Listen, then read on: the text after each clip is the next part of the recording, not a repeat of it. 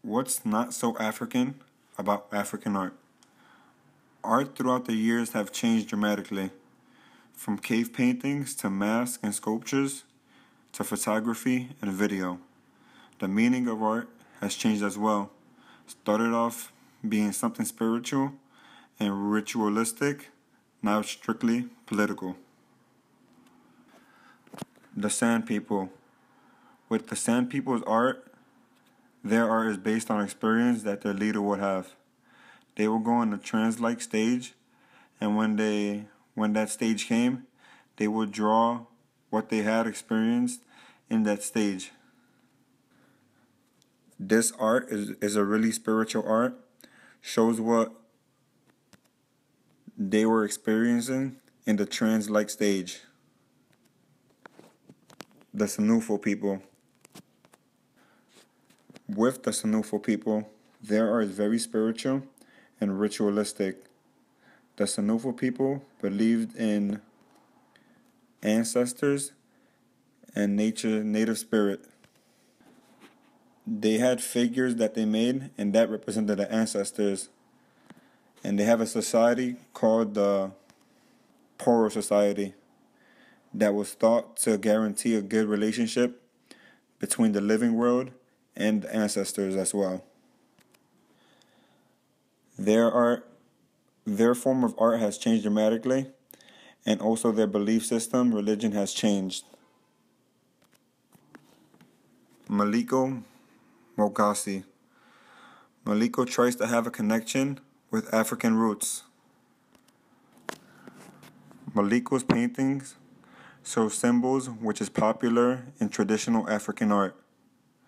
His meaning of his art is to help connect himself and others back to the African roots. Meaning changes in the work of art. As an, as an example, from spiritual to emotional. For me, this means that Maliko is trying to find his roots. Political art. Many Africans' main point in creating their works is strictly political. This is true for contemporary art. Example of artists like this are Carrie Mae Weems, Kerry J. Marshall, and Fahamu Pecou. With th- these three artists, their works are trying to bring awareness to black lives. All three artists, all three artists base work on brutality against black people or misconceptions on black people. Carrie Mae Weems does this by blurring the picture to show how people don't really focus or see black lives. Kerry J. Marshall work artwork is about victims of gun violence, how they were lost in the ghetto, public housing, joblessness, and literacy. Fahamu Pecou artwork is about common misconception about black lives and the misconce- misconceptions people have about them. All his paintings, the men are really dark to show this is what people think of them. In reality, they all come in different colors.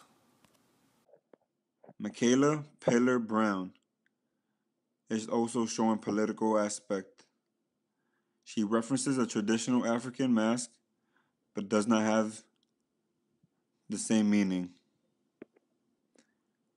In this painting, she has an X over her mouth to keep quiet. Quiet about her political ideas and such. The soldier on top of the head shows her thoughts of being monitored or censored. In this painting, it shows a political statement she wants to make to the world.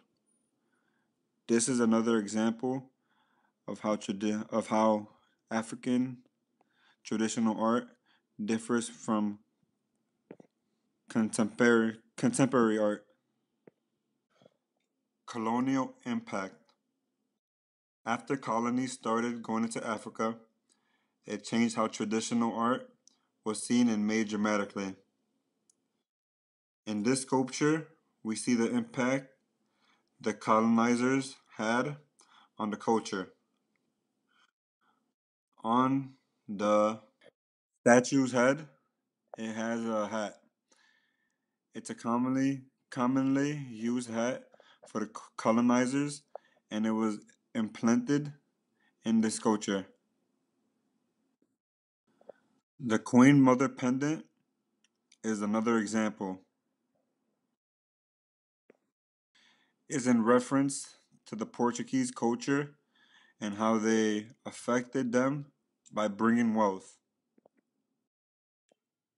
Conclusion Throughout time, the meaning and the way art is portrayed has changed so much.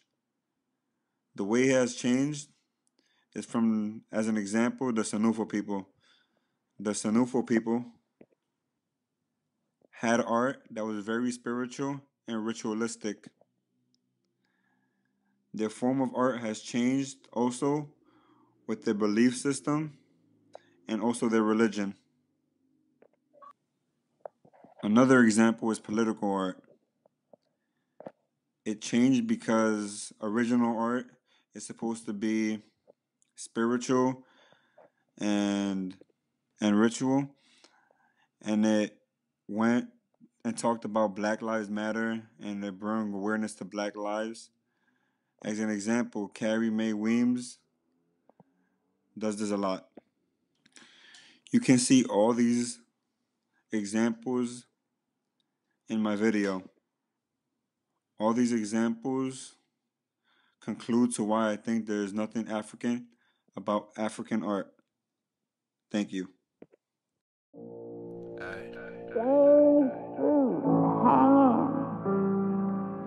From the poplar trees